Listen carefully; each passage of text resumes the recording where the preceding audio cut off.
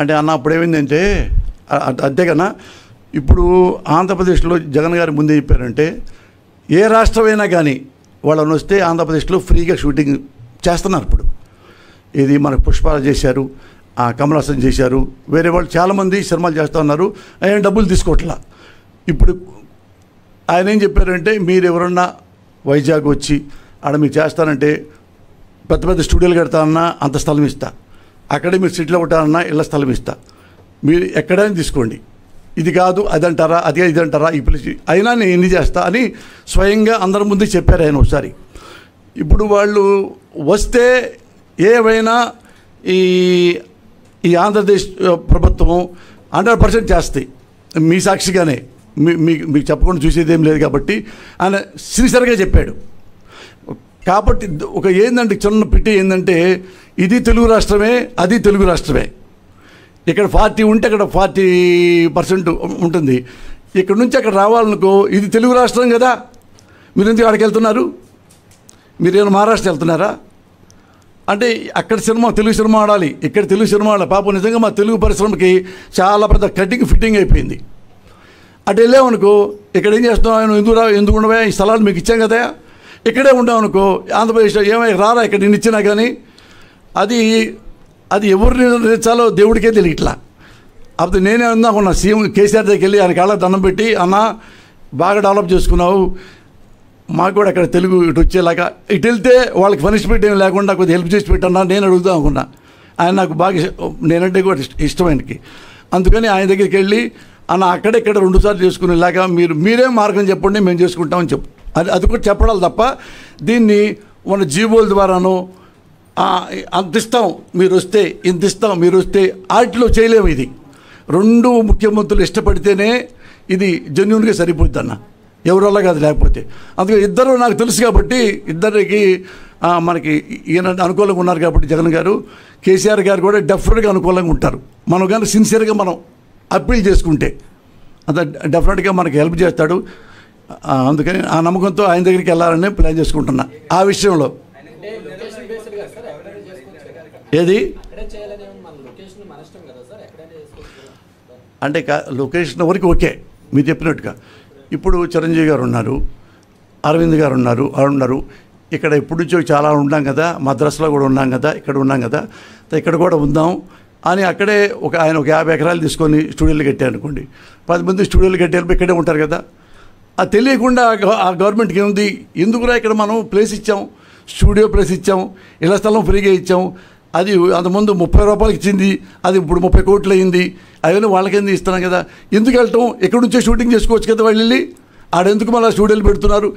ఇవి ఇట్లాంటి కొర్రీలు మనమే చేయలేము. అది వింటానికి కూడా పక్క వాళ్ళకి వాళ్ళ జన్యున్ ఉంటుంది అది. ఎందుకు సార్? నిజంగా మీరు ఆడ- ఆడికి వెళ్తున్నారు? సార్ వ్యవస్థ గివస్థ అని వచ్చే పరిస్థితి అయితే ఆంధ్ర రెండుగా రాదు. ఆంధ్ర విడిపోవాలంటాం చాలామంది రెడిక్లెస్గా ఉంది. మనం చెప్పగలమా డైరెక్ట్గా వెళ్ళి ముఖం మీదకి? చెప్తూ కొట్టేస్తారు. ఇప్పుడు ఉద్యమం అనేది రిజల్ట్స్ ఉండవు. డెడికేషన్ అది. దాన్ని మనం ఏం చేయలేం. ఇప్పుడు మీరు చెప్పినట్టుగా నేను పోయి ఎందుకయ్యా ఇవన్నీ అన్నాం అనుకో ఇట్ట మెట్టి అని నెడతారు కరెక్ట్గా. ఒంటి మెట్ట దగ్గర పడతా పోయి. గుంటూరులో కూడా కాదు. అదేంటంటే కొన్ని పేపర్ మీద బాగుంటుంది మనం అనుకుంటానికి. గాంధీ పుట్టిన దేశమా ఇది? నెహ్రూ కోరిన సంఘమా ఇది?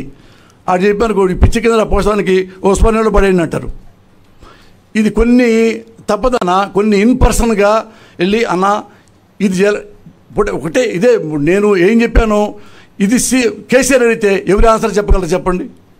ఒక ఆన్సర్ మీరు చెప్తే ఆ ఆన్సరే పట్టుకెళ్తాను నేను. అన్న మా అన్న ఒకటి చెప్పాడు ఈ ఆన్సర్ అని. ఏంటంటే ఇప్పుడు వాళ్ళు మద్రాసు ఉండగా చెన్నారెడ్డి గారు కూడా కానీ అది చాలా చీప్గా అసిస్టెంట్ డైరెక్టర్ కూడా ఇచ్చారన్న. అసిస్టెంట్ డైరెక్టర్ కూడా ఆరు వందల గజాలు ఏడు వందల గజాలు అట్టిచ్చారు. వాళ్ళు ఇప్పుడే కొంతమంది పైకి రాని వాళ్ళు కూడా దాని మీద బతుకుతున్నారు. అట్లా చాలా విచ్చలబడికి ఇచ్చారు.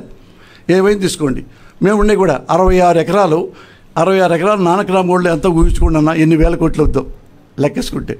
ఎకరం అంత అయితే పది ఎకరాలు ఎంత? వెయ్యి కోట్లు వెయ్యి వెయ్యి కోట్లే కదా. అరవై లెక్కేసుకోండి మీరు. ఇట్లా ఇవన్నీ ఇచ్చారు. వాళ్ళు మన వాళ్ళు వాటిలో కొన్నాళ్ళు ఉన్నా ఉండకపోయినా ఆ సినిమా కోసం తీసుకున్నా దాన్ని వాళ్ళు అమ్మేసుకున్నా అయినా కానీ ఏ ఏ సీఎం ముట్టుకోవట్లా మిమ్మల్ని కూడా బిడ్డలుగా చూస్తాం. మీకు ఇస్తున్నాం. మీకు డెవలప్ చేయండి. మా తెలంగాణ కూడా మీకు అండగా ఉంటాము. అని చెప్పిన తర్వాత ఏమైందంటే విడిపోకుండా ఉంటే లేదు ఎవరైనా మీరు చెప్పినట్టుగా ఇప్పుడు కేసీఆర్ ఉంటాడు రేపు వాళ్ళ అబ్బాయి ఉంటాడు ఆ తర్వాత రేవంత్ రెడ్డి ఉంటాడు ఇంకోళ్ళు ఉంటారా? అవి మనకు అనవసరం వ్యవస్థ వెళ్ళిపోతుంటుంది. కానీ ఇక్కడ దాతలేదు తెలంగాణ భవిష్యత్తు దేని మీద ముడిపోయింది కేసీఆర్ మీద ముడిపడింది. ఆయన వల్ల కదా అది వచ్చింది. ఇప్పుడు ఆయన ఇందులో ఉన్న సాధక బాధకాలు మనం చెప్పుకోవాలి తప్పితే ఒక జీవో ప్రకారంగా ఒక రూల్ ప్రకారంగా కొన్ని మనం చేయలేం. కొన్ని మనం చేయ చేయలేము. నా స్థాయి వాడు కాదు. కనీసం ఏ- ఏ స్థాయి వాడు కూడా చేయలేడు. అదేంటంటే ఒకరి మీద ఒకటి నమ్మకం ఉండాలి. అది నమ్మించడానికి వెళ్తున్నా. అన్న ఇది మాకు కూడా అక్కడ ఆడ ఆంధ్ర కూడా ఇది ఉందిగా నా అక్కడ చేసి పెట్టి. అన్న అది ముందు మేము వెళ్ళి అనుకున్నా మళ్ళీ మీరు తిడతారు మమ్మల్ని. అది మీరే మాట వేయండి అన్న అక్కడ కూడా హెల్ప్ అవుతుంటే చేసుకోండి అంటాడు. ఆడపై జీవో పెట్టామనుకో చింపి బయటపడేస్తాడు మీ ఇష్టం లేకపోతే వెళ్ళిపోండి తెలంగాణ నుంచి. మనం ఏం చేస్తాం?